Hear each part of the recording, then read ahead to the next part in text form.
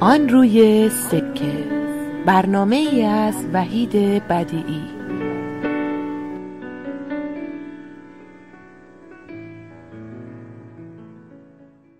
با سلام و درود خدمت شنوندگان عزیز و بینندگان عزیز رادیو پویا و برنامه آن روی سکه. خوشحال هستم که امروز به اطلاعاتون برسونم. یکی از چهره های سرشناس و آشنای سیاسی میهمان برنامه ما هست. ایرج مستاقی رو کمتر کسی هست که نشناسه. به جرات می‌تونم بگم کسی نیست که او رو نشناسه. و خب شهرت رو از اونجایی شروع شد که کتاب خاطرات زندانش رو شاید قبل از ایرج بسیاری از خاطرات زندان نوشته بودن ولی به جرأت می‌تونم بگم هیچ کس به دقت و با جزئیات به خاطر اون حافظه فوق العاده قوی که ایرج مستاقی داره تا حالا کسی نتونسته بوده. به این شکل در واقع این خاطرات رو به تصویر بکشه. امروز خوشحال هستم که در خدمت آقای ایرج مستاقی هستیم. ایرج مستاقی منهای اون خاطراتی که در عین دردناک بودن آگاه کننده و روشنگرانه بوده از سال پیش درگیر یک اتفاق مهم تاریخی بوده. در واقع از روز شنبه نهم نوامبر سال 2019 این خبر مثل بمب صدا کرد که حمید نوری که در زندان او رو به اسم حمید عباسی میشناختن کارمند سابق قوه قضایی جمهوری اسلامی و عضو هیئت مرگ در زندان گوهردشت در سوئد دستگیر شد. این یک اتفاق خارق بود برای که در حکومت های مثل حکومت جمهوری اسلامی دادخواهی معنا و مفهومی نداره. در حکومتی که وقتی کسی دوز رو افشا می‌کنه به جای دوز افشاگر رو می‌گیرن در جایی که کسی که از ارکان جنایات جمهوری اسلامی بوده رئیس جمهور میشه و میگه باید به من مدال می‌دادن دادخواهی در اون مملکت واقعا معنا و با اون حکومت در اون مملکت چرا؟ ولی با این حکومت معنا و مفهوم نداره. همونطور که گفتم خوشحال هستم که ایرج مستاقی با ما هستش و ما از چند و چوند دادگاه حمید نوری و روند پیشروی اون از ایشون سوالاتی خواهیم کرد و مطمئنا ایشون ما رو در جریان کامل این دادگاه قرار ایرج جان خیلی ممنون و متشکرم که دعوت ما رو پذیرفتی و مهمان برنامه امروز خیلی تشکر می‌کنم از شما که این فرصت رو در اختیار من گذاشتید که همراه با شما به خونه هموطنان خب ایرا جان مسئله حمید نوری اصلا چه شد که شما این به این فکر افتادید که میشه چنین آدم؟ اولا چه شد که متوجه شدید که ایشون در خارج از کشور هست؟ و چه شد که فکر کردید این امکان وجود داره که شما اون رو دستگیرش کنید و به بله. در واقع به دادگاه بکشید ببینید خب من سالها در ارتباط با مستندسازی جنایت در ایران کار کرده بودم. و حتی یه مجموعه پنجلدی در ارتباط با ادالتخانه و ویرانگرانش دارم که به همین موضوع جنایتکاران می‌پردازه و اگر یادتون باشه در فیلم آنها که گفتن نه همراه با نیما سربستانی به ژاپن رفته بودیم برای که یکی از جانیان رو به تور بند بیاندازیم. اون موقع قرار بود که آقای پور محمدی به اونجا بیاد. در آخرین لحظه ایشون نیومد و معاونش غلام حسین بلندیان اومده بود. البته اینم بگم خدمتون غلام حسین بلندیان هم بازجوی 209 اوین بود و یکی از خودش یکی از شکنجهگران بود. خب اون موقع من با او روبرو شدم و یک ما فیلمی رو از او مخفیانه ضبط کردیم. او در جریان نبود که این فیلم داره ضبط میشه چون با تمهیدات گوناگونی ما به ژاپن رفته بودیم و تونسته بودیم تو اون اجلاس شرکت کنیم. خود اون یک پروژه بزرگی بود که همراه با نیما سروستانی تونستیم این کار رو انجام بدیم. از همون موقع خب حالا اون موقع هدف ما این بود که یکی از جانیان رو باهاش رو به رو بشیم. من قبلا یه بارم تماس گرفته بودم با مجید قدوسی که در کشتار 67 در اوین فعال بود و مسئول اجرای احکام یا اعدام زندانیان سیاسی در جریان 67 تو اوین بود. و به او هم زنگ زده بودم و با او هم گفته بودم می‌تونید بیایی توی ایران تریبونال از خودت دفاع کنی تو متهم هستی به جنایت علیه بشریت و مشارکت در کشتار 67 خیلی جدی نمی گرفتش تو فیلم آنها که گفتن نه دیالوگ من با مجید قدوسی هم هست که اسم اصلیش مجید ملا جعفره. اتفاقا اسم اصلی او رو هم من نوشته بودم برای اولین بار و اسم حمید نوری رو هم من در کتابم آوردم. و اینکه نام اصلی او حمید نوری است. خب این, این سابقه امر رو ما داشتیم و اینجوری نبود که حمید نوری در خارج از کشور باشه. نه.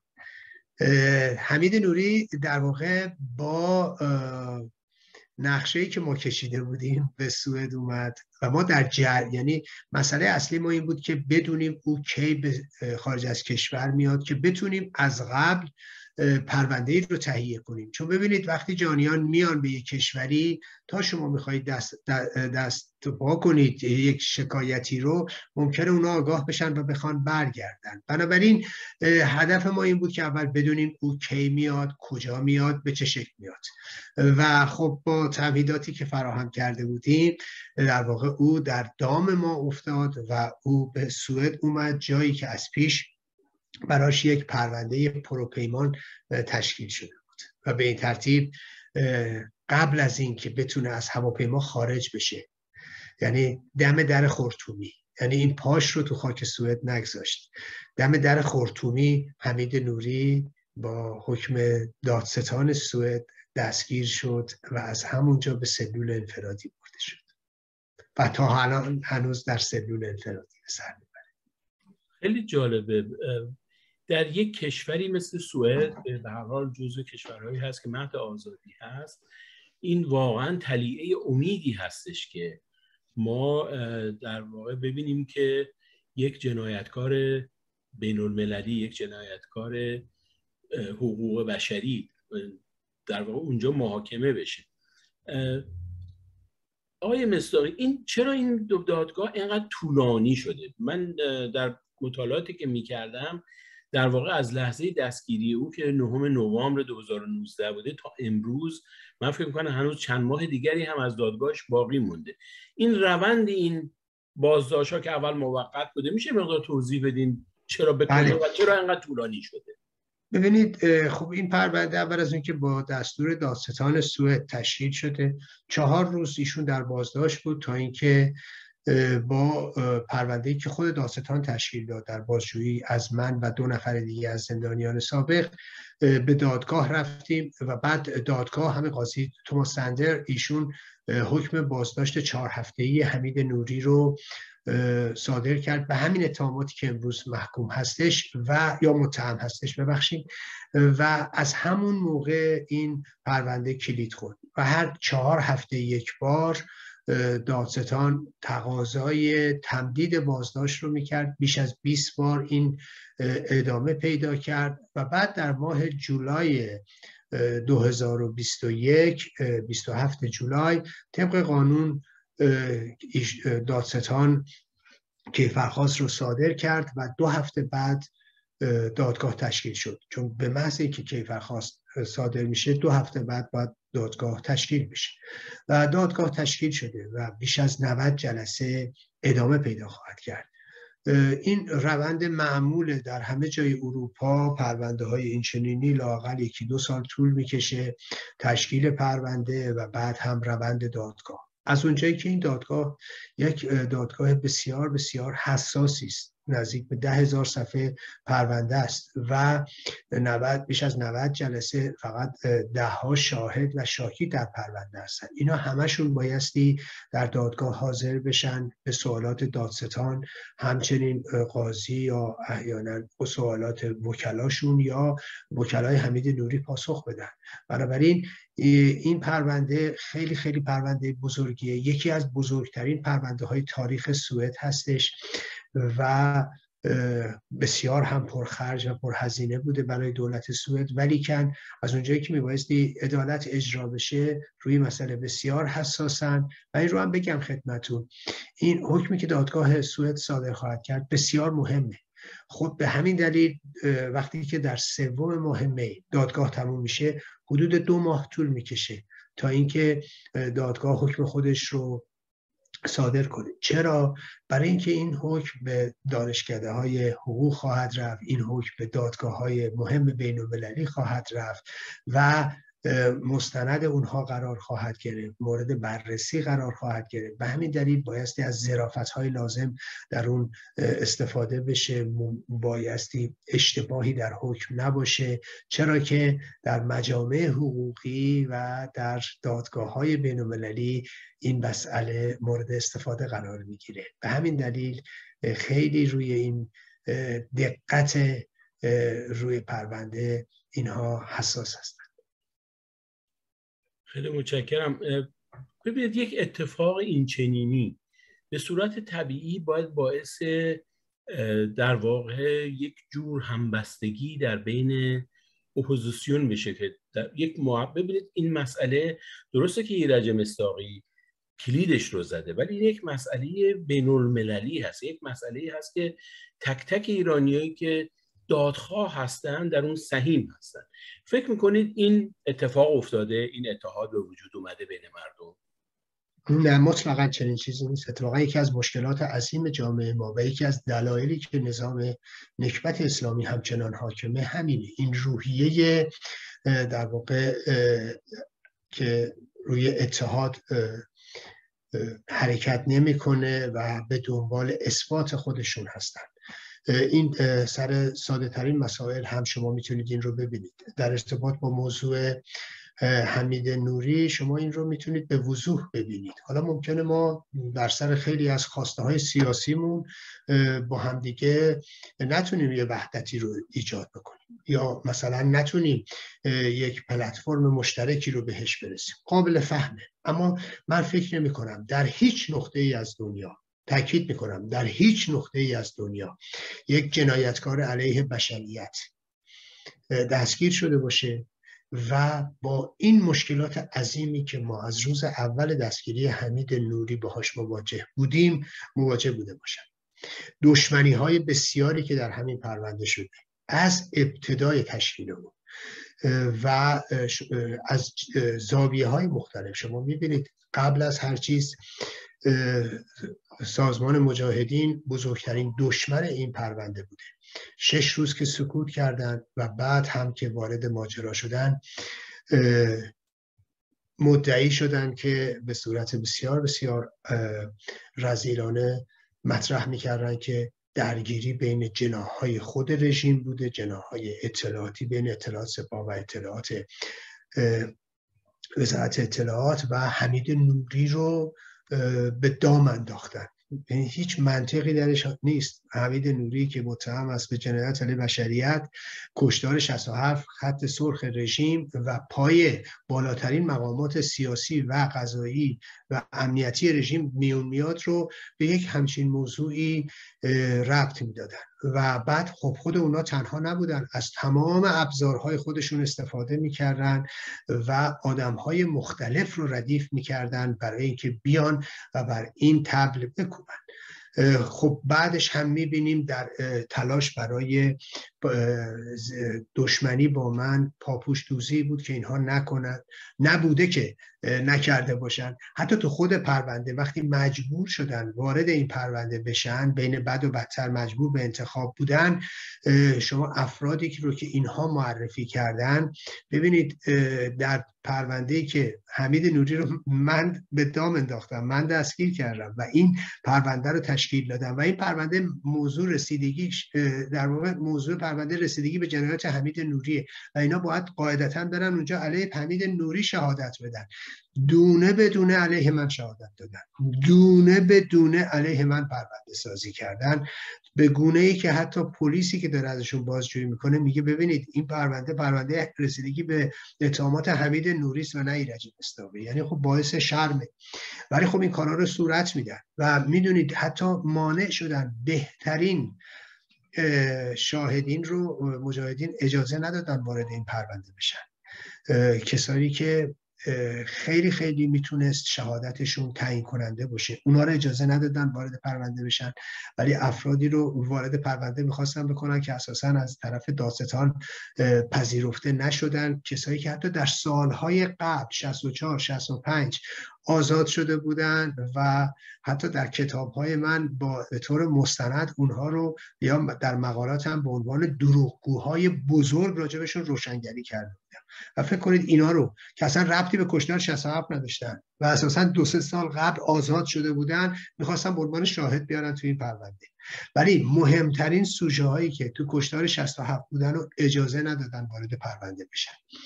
بنابراین می‌خوام بگم این یکیش اینه. و بعد یه عده تحت عنوان چپ شما می‌بینید. از روز اول به دروغ مطرح می‌شد که ما پرونده مستقلی رو از اول باز کردیم. خب می‌دونید یه پرونده وقتی یه باز میشه من و شما که نمی‌تونیم پرونده باز کنیم. دادستان این کار رو صورت میده.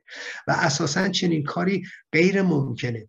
و خب می‌دونید خیلی ها از پرونده بیرون افتادن. و حالا در خود همون پرونده شما برید نگاه کنید. تمام اینا بازه همه می‌تونن برن بهش دسترسی پیدا کنن. سیاهکاری بود که علیه من نکرده باشن و حتی مثلا صحبت های من ویدیو کلیپ های منو ردش رو به وکلای حمید نوری دادن. شما می‌تونید اینو برید تو پرونده ببینید. علیه مهدی اصلانی پرونده سازی کردن و امداد رسانی کردن به وکلای حمید نوری. شما برید ببینید تحت عنوان چپ یک وکیل سوپر راست سوپر راستی که میگم یعنی راستترین نیروی تو سوئد رو. اینها به استخدام کرده بودن یا از او رو به میدان آورده بودن که فیلمسل با وکلای ما نرن. وکلایی که مورد تایید دستگاه قضایی سوئدن و اساسا کسایی هن که خوشنام ترین وکلای سوئدن حرفی ترین وکلای سوئدن و در پرونده های سابق هم.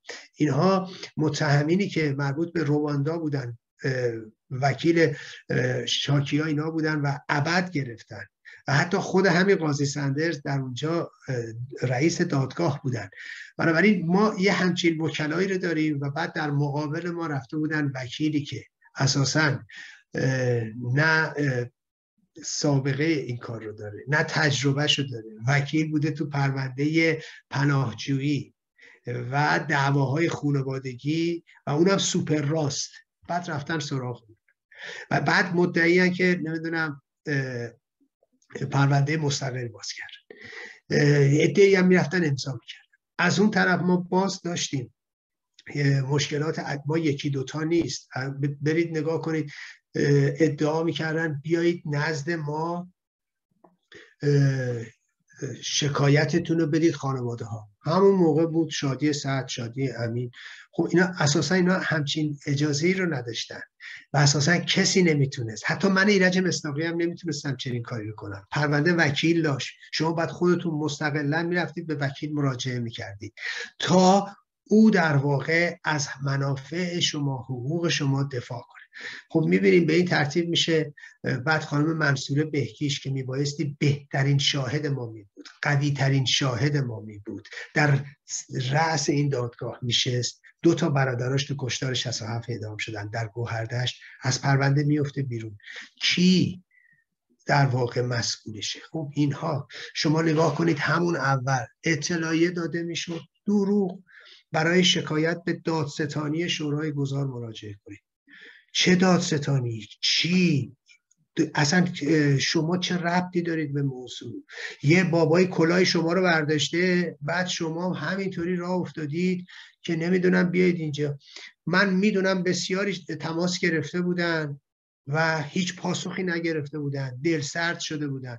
ببینید من خیلی حرفا رو نمی‌تونم بزنم خیلی داستانا رو نمی‌تونم بگم خیلی مشکلات رو نمی‌تونم بگم که ما از اول با چه مشکلات عظیمی روبرو بودیم و چطوری تلاش می‌کردیم که هم لطمه به پرونده نخوره. شما برید تمام این پرونده رو ملاحظه کنید. من یک کلمه راجع به کسی صحبت نکردم. یک کلمه علیه کسی صحبت نکردم.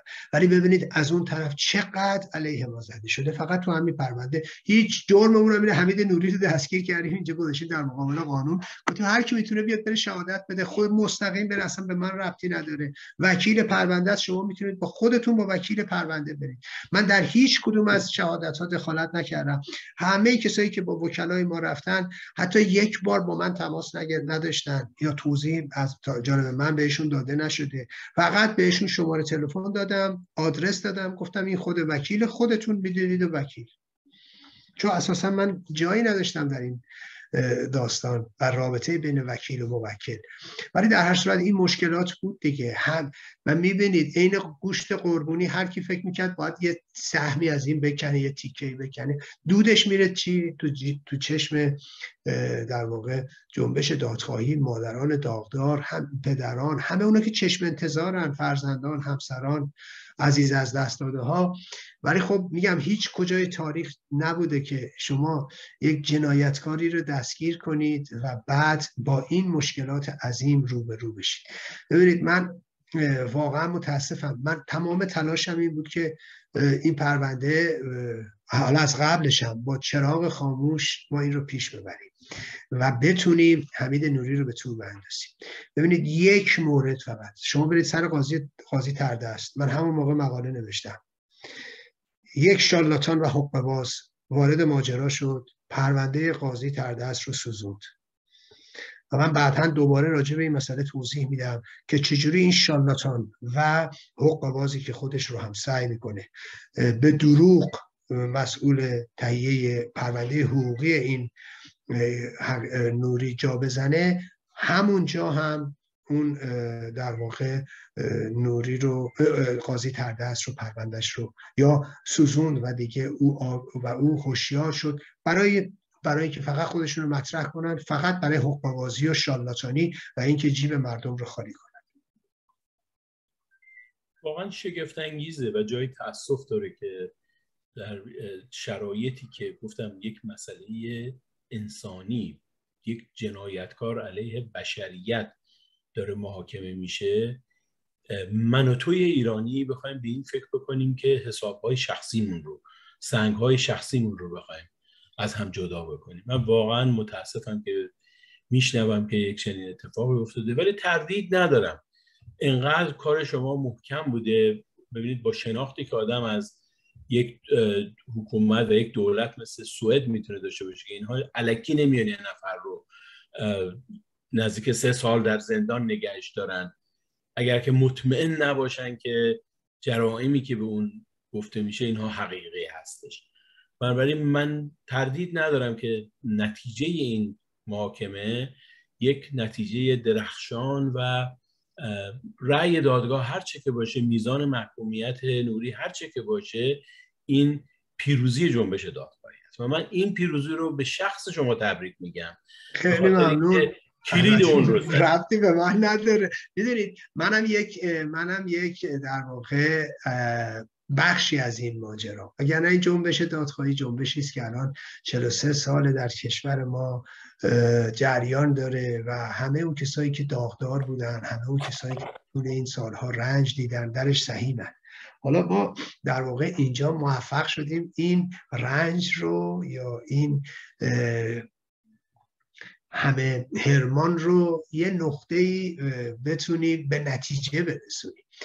من فکر می‌کنم روز سوم مای که اینجا جشن هست در سوئد درست روز آخر دادگاه. در مقابل دادگاه ما جشن داریم.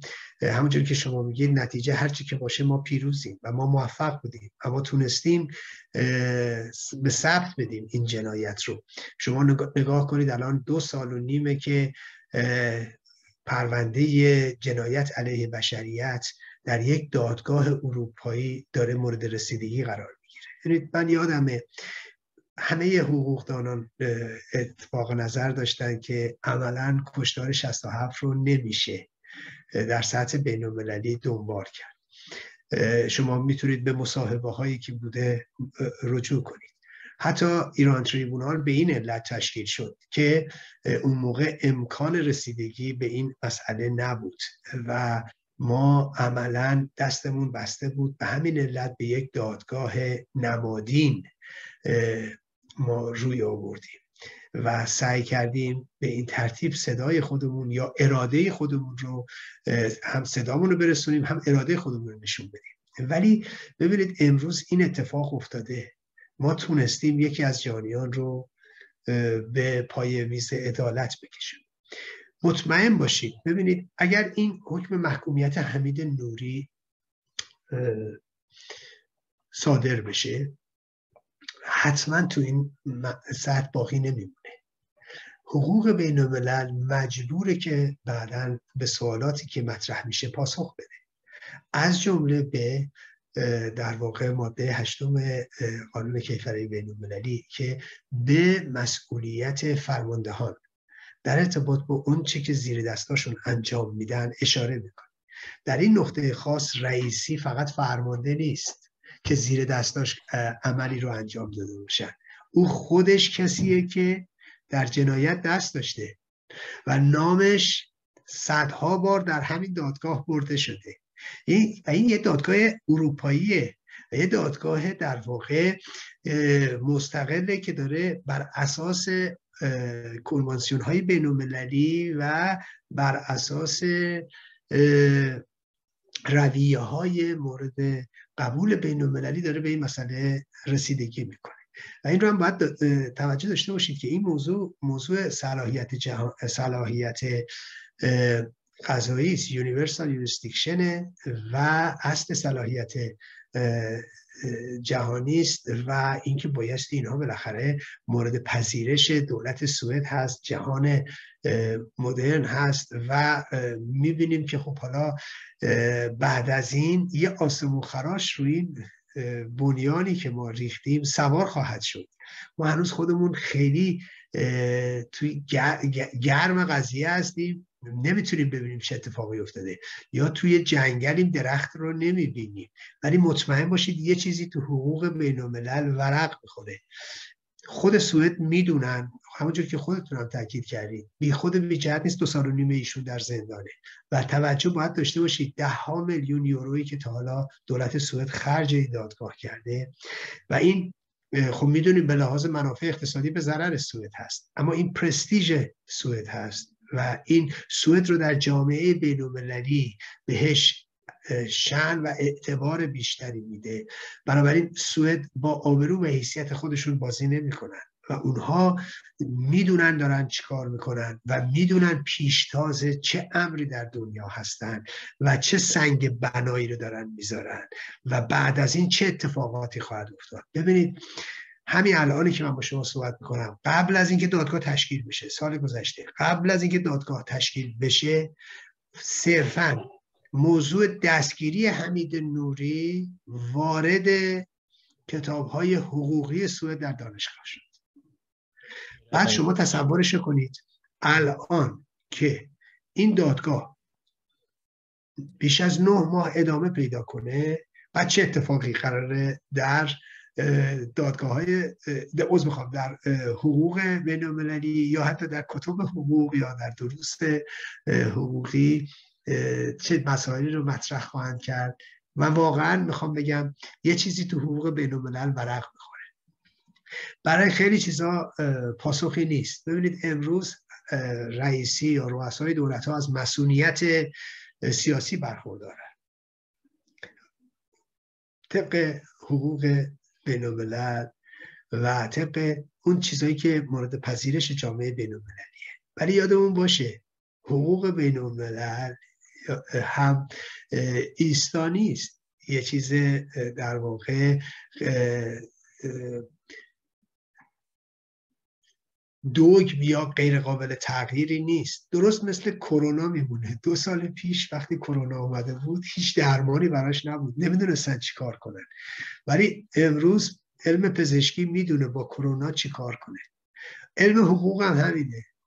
ببینید وقتی که پینوشه دستگیر شد پینوشه فقط چند روز در بازداشت بود. خب هیچ اتفاقی هم براش نیفتاد. ولی صرفا خود دستگیری پینوشه یک تحولی در حقوق بین الملل ایجاد کرد و در حقوق کیفری ایجاد کرد در سطح بین المللی و اساسا مخالفت هایی که بعدا با ایمپیونیتی شد و حتی قطنامه هایی که صادر شد تلاش هایی که در این زمینه صورت گرفت. اینه که به نظر من دستگیری حمید نوری رو باید به فال نیک بگیریم و مطمئن باشیم که این همه زجری که مادران و پدران در چهل و سه سال گذشته و همه عزیز از دست داده ها کشیدن بالاخره اینجا به ثمر می‌رسه و ما موفق میشیم. علا رقم همه این بدخواهی ها ما موفقیم. من تردید ندارم که همینطور خواهد بود. به تاریخ سوم می اشاره کردید. این روز در تاریخ حقوق بشر و به خصوص در تاریخ حقوق بشر ایران ثبت خواهد شد. من امیدوارم کسانی که می‌تونن از هر کجای دنیا به سوئد بیان و در این شادمانی پیروزی حقخواهی و عدالت طلبی شرکت بکنن. من دعوت می‌کنم از همشون که حتما این کار رو بکنن و من مطمئنم و شنیدم از دوستانمون دوستان مشترک برنامه های زیادی در پیش هست برای اون ایام و امیدوارم که خبرهای بعدش که به صلاح حکم دادگاه خواهد بود بر شادی این پیروزی افزون بکنه. ایرج عزیز این روزها یکی از مسائلی که دنیا رو تحت شعا قرار داده و من نمی‌دونم که چقدر می‌تونه روی چنین دادگاهی تاثیر بذاره. مسئله حمله روسیه به اوکراین هست و اینکه ما در اخبار دیروز اینجا می‌گفتن که تنش هایی هم بین سوئد بین کشورهای اسکاندیناوی با روسیه وجود داره. از دید شما به عنوان یک کنشگر سیاسی و به عنوان یک کارشناس سیاسی این مسئله رو چجوری بررسی بله. ببینید اگرچه خب این یک اتفاق بسیار بزرگه یک جنایت که در اروپا لاقل در بعد از جنگ جهانی دوم بی سابقه بوده به این ترتیب حمله. ما قبلا البته حمله اتحاد شوروی رو و به مجارستان و چکسلواکی داشتیم در دهه 50 و 60 میلادی. اما ابعاد اونچه که ما در طول یک هفته گذشته شاهدش بودیم و تلاش برای نابودی تمامی زیرساخت های اوکراین چیز جدید چیز غریبی است که لاقل نسل ما باهاش آشنا نیست. ما الان تقریبا می‌تونم یه آخرین نسل های جنگ جهانی دوم هم دیگه دارن آخرین روزهای عمرشون رو سپری می‌کنن. بنابراین این رو باید بهش توجه داشته باشیم که خب مسئله خیلی مهمیه. برای همین هم هست که خب شما بدونید در سوئد تمامی احزاب در شاید برای اولین بار باشه در یک امری متفق اول خواهان کمک نظامی سوئد به اوکراین شدن. البته حزب چپ سوئد مخالفت کرده بود و علیه این درخواست دولت رأی داده بود. اگرچه خب تأثیری در تصمیم گیری ها نداشت ولی به خاطر فشار افکار عمومی و به خاطر اعلام زجاری و نفرتی که در سطح سوئد باهاش روبرو شدن و حتی در درون خود حزب چپ هم مخالفت های بسیاری شد و دبیرکل سابق حزب چپ موزگیری رسمی کرد اونها موزهشون رو تغییر دادن و متوجه این خواست عمومی شدن. این یه بخش ماجراست. اون بخش احساسات عمومی بحث امنیت سوئد و بحث تعهدات سوئد نسبت به حالا کشور اوکراین و برقراری صلح و یا رعایت قوانین بین است اما داستان دادگاه حمید نوری مستقل از اینه. ببینید این داستان این دادگاه همون جوری که برنامه ریزی شده جلو خواهد رفت. و به طور قطع و یقین این گونه مسائل در دادگاه تأثیری نداره. یه موقع یه جنگی میشه اساسا دیگه اهمیت و کشور تعطیل میشه. اون یه بحث دیگه است. ولی در شرایطی که امروز ما به سر می‌بریم و پیش بینی میشه نه این اینا هیچ گونه تأثیری در دادگاه نداره. و در برگزاری دادگاه و در تصمیم گیری دادگاه و در نتیجه دادگاه. ببینید سوئد دستگاه قضایی واقعا مستقله و مستقل از دولت و مستقل از سیاست عمل می‌کنه و تصمیماتش رو مطلقا نمی‌تونیم بگیم که آغشته به منافع سیاسی است. تصمیمی که دولت می‌گیره. شما الان عضو می‌خوام تصمیمی که دستگاه قضایی می‌گیره. شما ملاحظه می‌کنید در طول این دو سال و نیم اونها با دست باز به این مسئله رسیدگی کردن. رژیم هم حتی دیدید دیگه. تلاش می‌کرد یه جوری گره بزنه پرونده احمد رضا جلالی رو. و بعدش هم دو تا جوون سوئدی رو در ایران دستگیر کردن و به اتهام مواد مخدر و اینکه قرص روانگردان داشتن مواد مخدر برای اینکه بتونن تو این پرونده تاثیرگذاری کنن. ولی خب روزی هم که اتفاقا روزی که کیفرخواست به دادگاه رفت دادگاه اونا رو برگزار کردن. ولی در سوئد اگر کسی با دستگاه قضایی آشنا باشه می‌دونه تره برای این اقدامات خود نمی‌کنن. و عملا این مستقل از اون جلو خواهد رفت. و خوشبختانه برای ما و بدبختانه برای رژیم حمید نوری بد جایی دستگیر شده و گیر بد کسایی افتاده. من فکر نمی کنم. با توجه به قوانینی که در اروپا ازش مطلع هستم در ارتباط با همین universal jurisdiction یا اصل صلاحیت جهانی ببینید بدترین جا برای اینکه حمید نوری دستگیر بشه سوئد.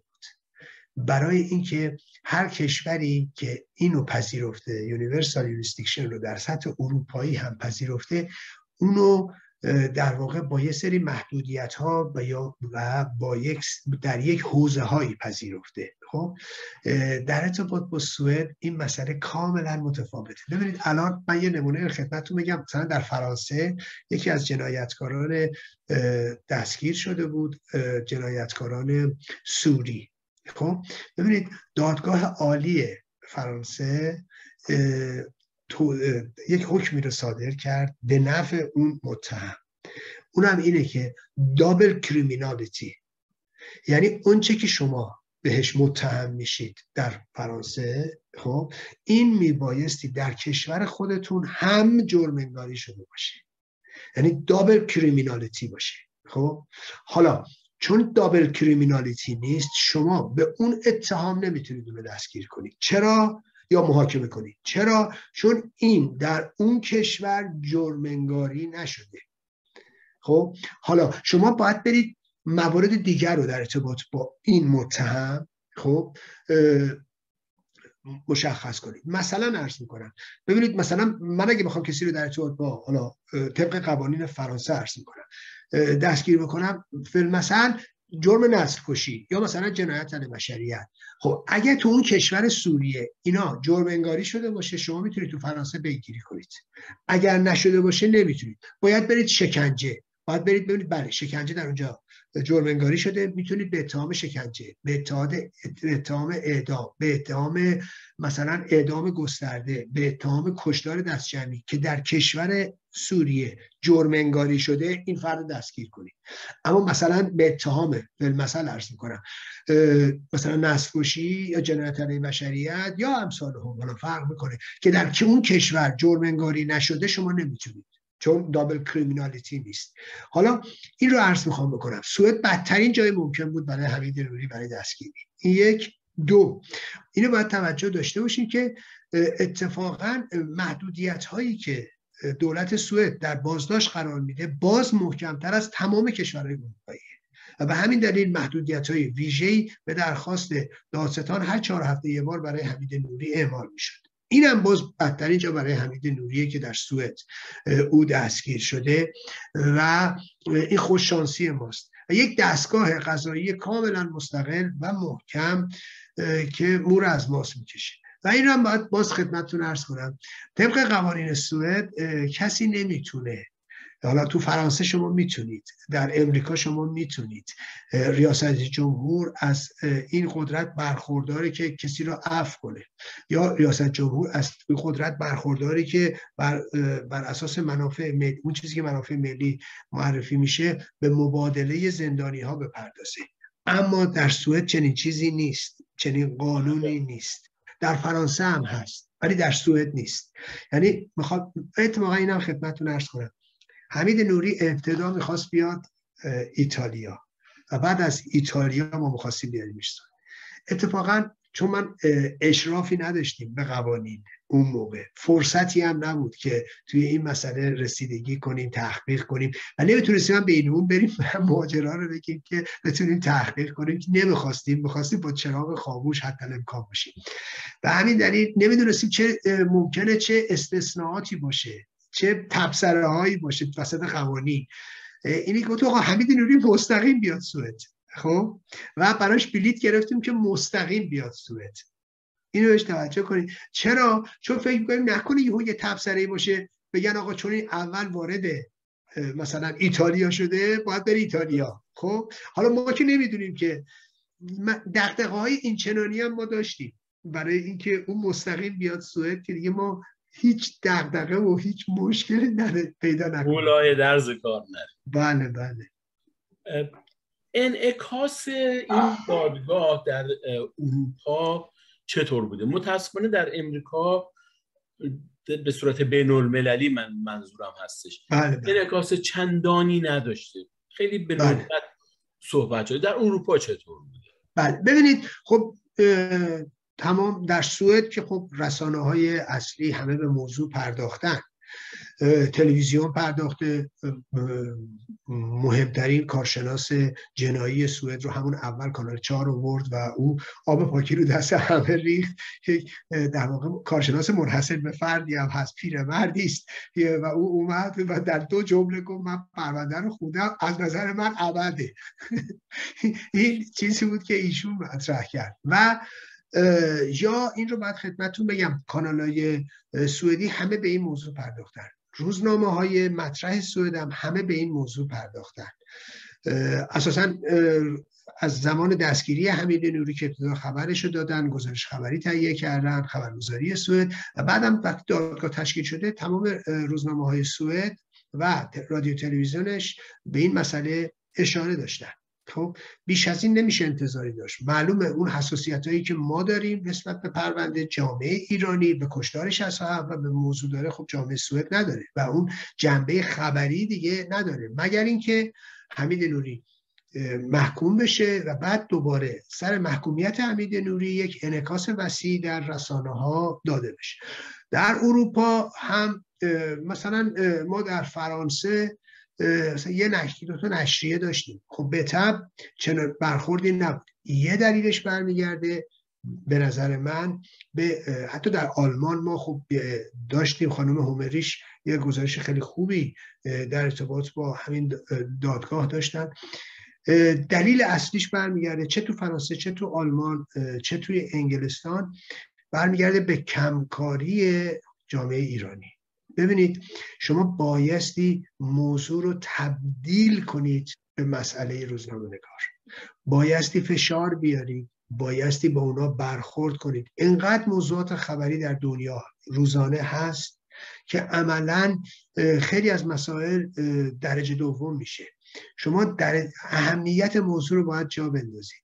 یعنی بایستی این پرونده رو لغمه کنید بذارید دهن اون خبرنگار. که بتونه انکاس بده. ما هر جا که انکاس کم گرفتیم حالا چه تو فرانسه چه تو آلمان چه تو انگلستان یا هلند یا هر جای دیگه برمیگرده به کمکاری جامعه ایرانی. متاسفانه جامعه ایرانی از همه دنیا طلبکاره. چرا باهاش همکاری نمی‌کنن؟ چرا نمی‌دونم با رژیم میرن؟ یا و و و و. یا در هر صورت طلبکاره. ولی هیچ موقع خودشو بدهکار به این جوامع احساس نمی‌کنه. نمیگه من چه کردم؟ من چقدر رفتم؟ از سر همین موضوع خاص عرض می‌کنم. این اشکالش به نظر من اول به خود ما برمیگرده. از من بگیرید تا بقیه. من واقعا امیدوارم که این ماجرا البته من می‌دونم جامعه ایرانی و در محافل ایرانی چه اون بدخواهان و بداندیشان بخوان مانعش بشن و چه اونهایی که واقعا به معنی واقعی کلمه دادخواه هستن این انکاس یک صدای یک انفجار خواهد بود و تا گوشاشون هم بگیرن به گوششون خواهد رسید. من شنیدم که در جریان این ماجرا یک مستند هم داره درست میشه. میشه بله. در مورد توضیح بدید بله ببینید نیما سروستانی از ابتدا در جریان تشکیل این پرونده بود. خب من چون از قبل با نیما کار می‌کردیم. ببینید همون فیلم آنها که گفتن نه رو اگر ملاحظه کنید یه جایی من با بلندیان صحبت می‌کنم.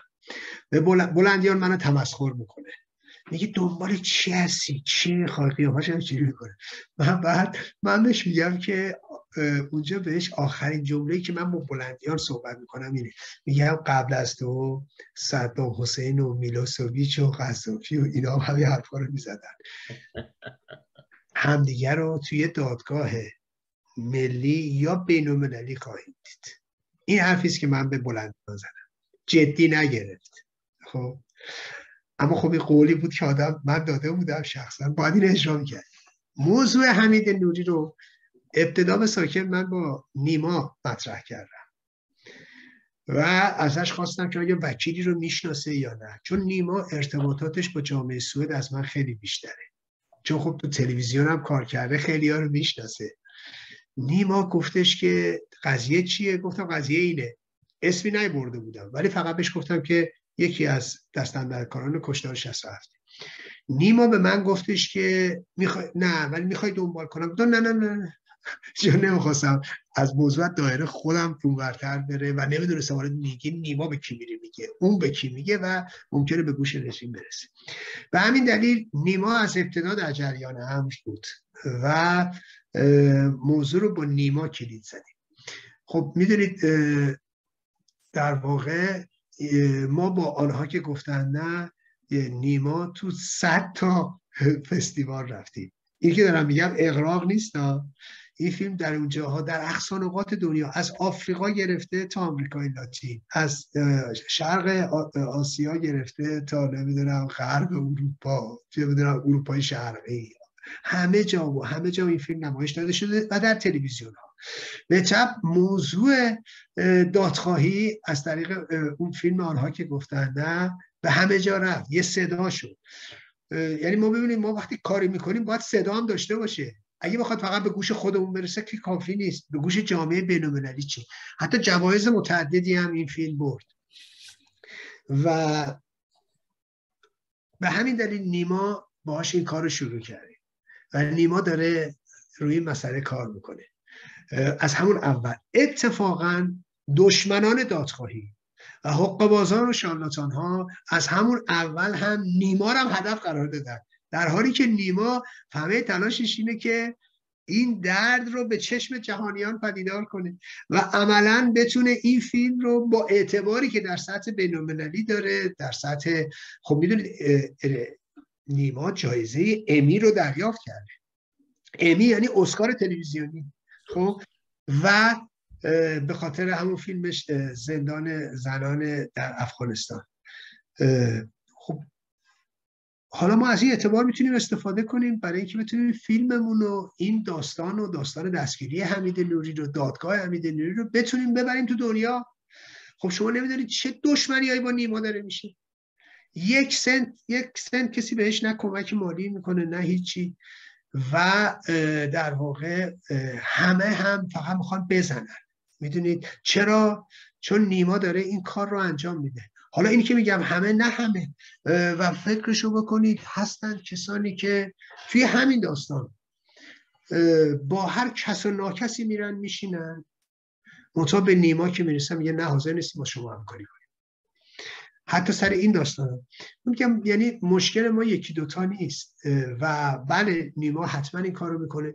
و اتفاقا کسایی که خب نمی‌کنن و نمیان و اینا یک فرصت بزرگ رو از خودشون می‌گیرن. چون این قافله به راه خودش ادامه میده. و مطمئنا نیما که منتظر کسی نمیمونه.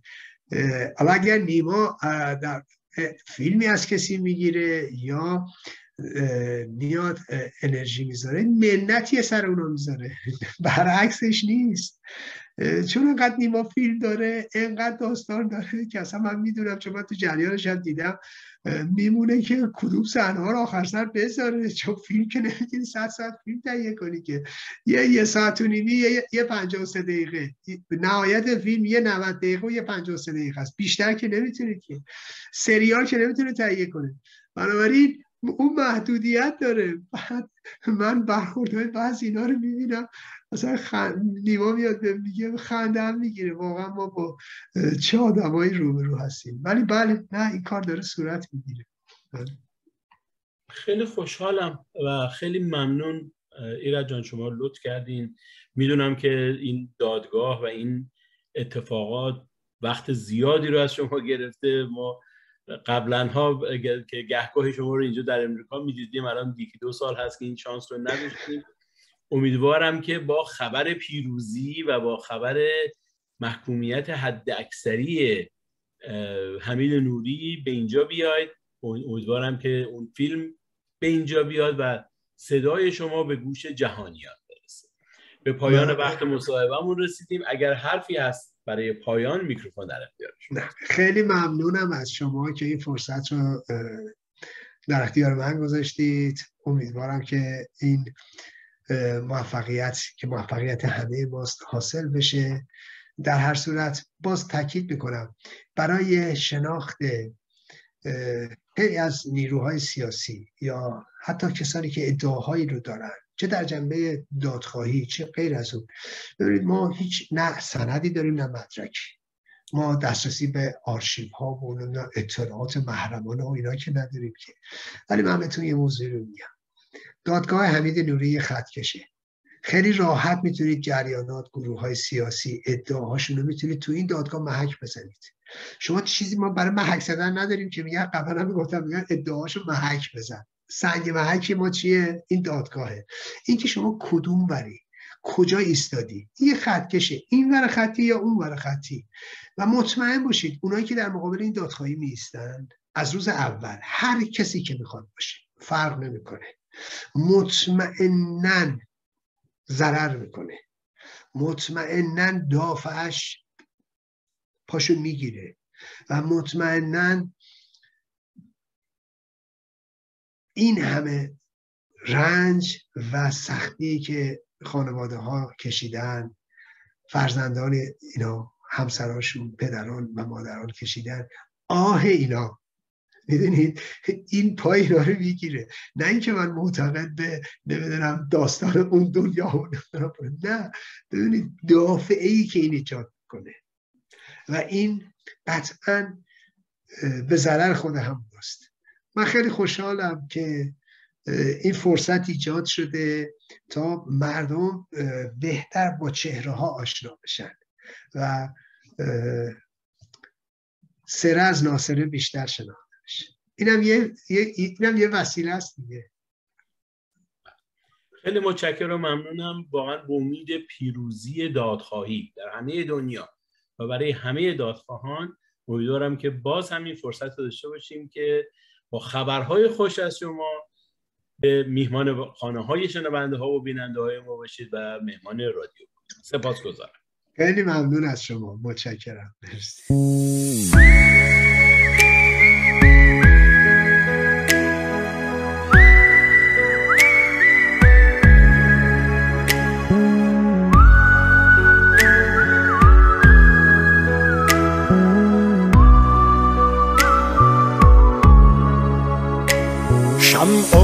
و پروانه مکدر شدن گلهای وطن یک سر پرپر شدن در کاخ سلاطین زر و زور و ریا هر ناکس و پاچلیز مهتر شدن شیخی ز مقام و شعن انسان می گفت لیکن ز همه جهات بدتر شدن دیروز به دنبال کرامت بودن امروز چنین شقی و بربر شدن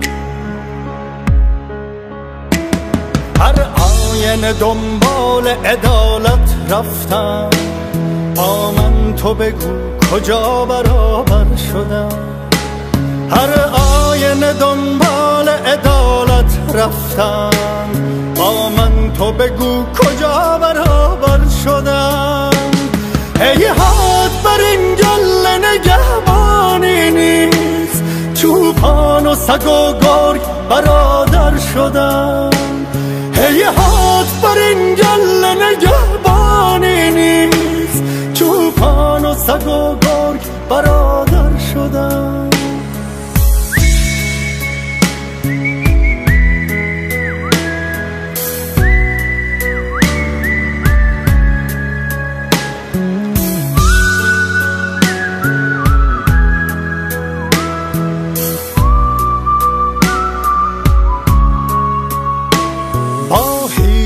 جغد سبز و روباه بنفش یک ملت سادل و منتر شدن ارباب هنر فارغ از احوال جهان در پیش نگاه خلق انتر شدند.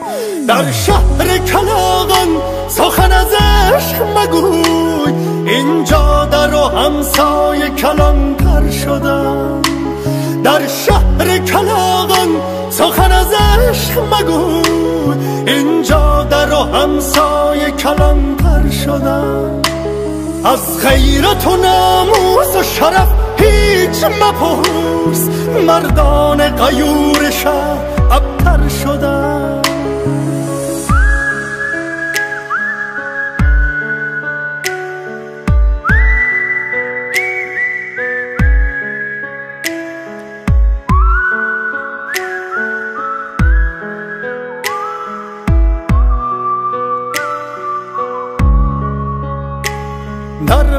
به سهر دختر آبی میسوخت.